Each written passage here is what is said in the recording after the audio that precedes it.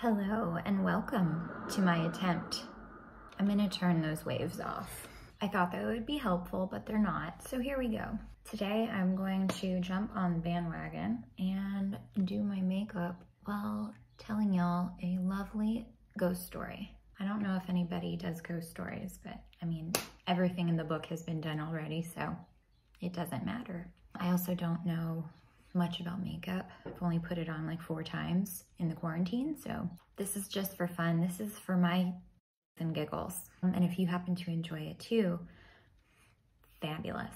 I have really chapped lips. They're very dry, and right here I have this little crusty soul patch. It's not cute. It's probably because when I'm nervous, I'm like, So today I'm going to be telling you a very sweet ghost story takes place on St. Simons Island, which is the place that the CFC team just came back from. And I miss it so much, even though it was really, really cold and kind of gross the last two days. Anyway, it was interesting because when I mentioned this to Cap, he's like the main island historian and he knows all of the stories he didn't know what I was talking about. And I swear that I heard him talk about this on one of his tours, but whatever. And, and it's also, it pulls up on websites too, but I always thought it was a really sweet story. So here we go. Back in the day, St. Simons was pretty like, I mean, it was rural, but it was by the sea. So they had forts there for military and they also had a lot of what do you call tree harvesting? Timbering? I don't know. I want to call them tree mines. I'm so, I'm dumb. That COVID shot just took everything out of my brain. It, it's a mill. That's what it is. A mill. It was like on the island and it, people worked there late into the evening, like they were shifts. And so there happened to be a hardware store slash like, you know, whatever 1795's version of the golden pantry was. There was this place where people went to get their stuff when they were doing their weird shifts and it was like the only one on the island that stayed open that late. And so the guys at the mill would go and they would get their cigarettes or Red Bulls or whatever. I guess back then it was like cocaine. You just did cocaine. Um, yeah, these guys would go and they would get their stuff. Um, it was kind of odd to see a woman out at this time because again, this was back in the day and women weren't really, you know, hanging out outside of their houses at nighttime. So it was very strange when one day the man working behind the counter at the general store noticed a woman coming in. She was very quiet, she didn't talk, and she asked for a bottle of milk. To which he was like, okay, sure. He thought it was a little odd, but I mean, she wanted milk, so he turned around and he gave it to her. And then when he turned around to get her receipt, she was gone. He was a little angry because, I mean, she just stole milk from him. He didn't chase her out. He, he didn't actually see her. Um, she was just completely gone. And the next day, same thing happens again. Woman comes in. She mumbles, I want some milk. She doesn't say anything else and she's young, but she looks like really tired and she looks kind of old beyond her years. And so he, he's kind of concerned because at this point he thinks something might be wrong. He, he's trying to be nice, so he gives her the milk again. And of course the same thing happens. He turns around and she's gone. So at this time he kind of just chalks it up to this girl is probably struggling. Maybe she's homeless or, or poor or something. And I'm just, I'm just gonna let it slide. If she comes in again, I'm just going to try to figure out who she is and how I can help her and I'll, I'll give her the milk, whatever. We'll figure out what's going on. So a couple days pass, maybe like two days, and she is nowhere to be found. But he started to tell some work people around the area that she has been sighted and they haven't seen her. They don't know really what he's talking about. They've kind of got their eyes peeled and what? My nose is so flaky. Ugh. I had a consultation for my nose job, which is gonna be $10,000. So that's not gonna happen unless this, this YouTube channel really gets popular. But also because in the picture I got back of my nose, it looked really weird. And honestly, I would rather have a big nose that doesn't look weird than a nose that looks like a ski slope. So I don't think we're gonna do that. We can save a lot of money.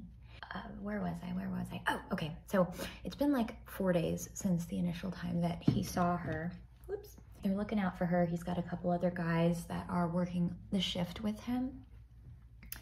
And he finally sees her again. And he's like, oh shit. Sorry, I can't. Where's my eyeshadow? There it is. There it is. He sees her again. And they're like, oh my God, it's her. They agree with him. They're like, she doesn't look good. This is weird. And they've never even seen her in the town. I mean, looking like that at least. They give her the milk and then they follow her out. Usually she just runs and she's like, peace out, and he doesn't see her. But this time he's got some friends posted up outside the building so that they can follow her to where she's coming from so they can figure out who's this weird lady that only drinks milk at night and like doesn't pay for it.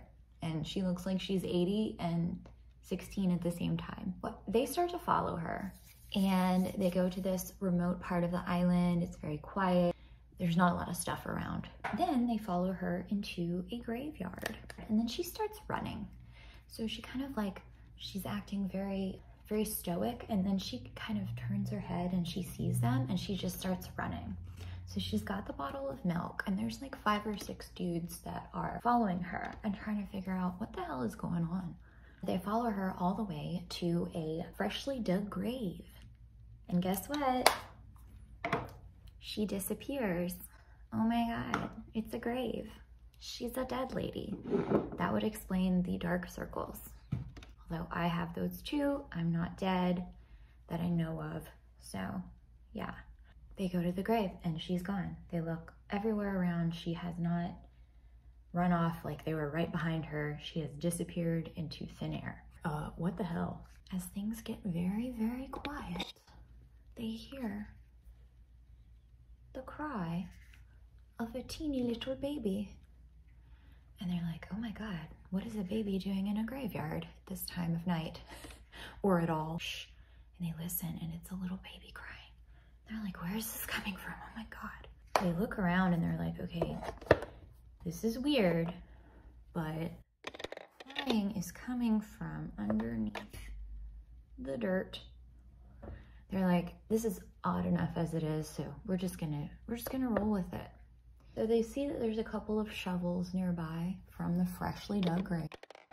They notice the tombstone and it has a woman's name on it. The date of death was like two weeks ago. This is a very new grave. As bizarre as this is, we're just gonna try to figure this out because we all hear it. So they grab some shovels that have been left nearby and they start digging and the dirt is very fresh. It's relatively easy for them to, you know, get under there. And they find this coffin, this fresh wood coffin. It's very simple.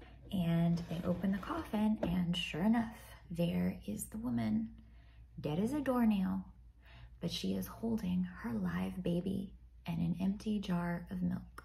Moral of the story is that if you die and you take care of your baby, that you're really nice. They grab the baby and they're like, oh my God. Turns out the woman had died of one of those old diseases that killed everybody. I don't know, tuberculosis or cholera, something, something. Maybe it was like a cold because back then, my God, I don't, I need more eyeshadow options. Hmm, this is all gonna be edited out. This is dumb. They go to the town doctor and they find out that this woman just passed away and they were under the impression that her newborn baby had passed away as well. So essentially, this baby was buried alive. But because the ghost mommy was so sweet and caring, she left her grave every night to get milk for this little baby. She got the attention of these guys and they followed her, ended up rescuing the baby from the grave. Every time I see a bottle of milk, I think, oh my God, that's so sweet.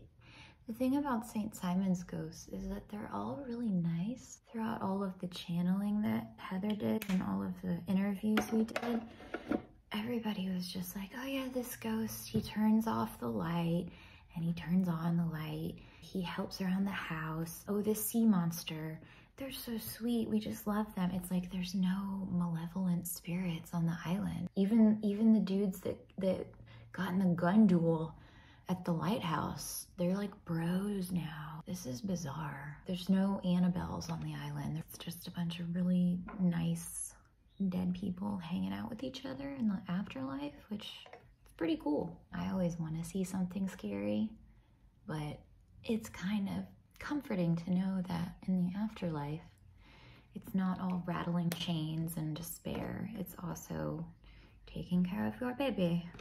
When you die and you think your baby died, but your baby is still alive, good thing too, because if they had been in an area without a midnight 1800 7-Eleven, then that little baby probably would have joined its mommy.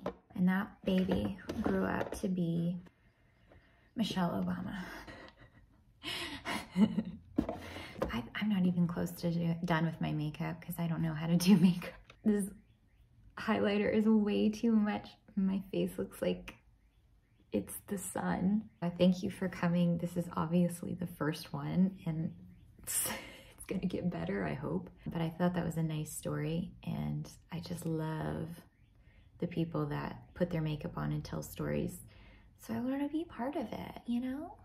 We've got a new video coming out soon about the infamous Masonic Pyramid of Augusta, and we hope that you tune in. I don't have a catchphrase yet. We need a catchphrase and a theme song. That'll happen with time. Um, but anyway, thanks for supporting our channel.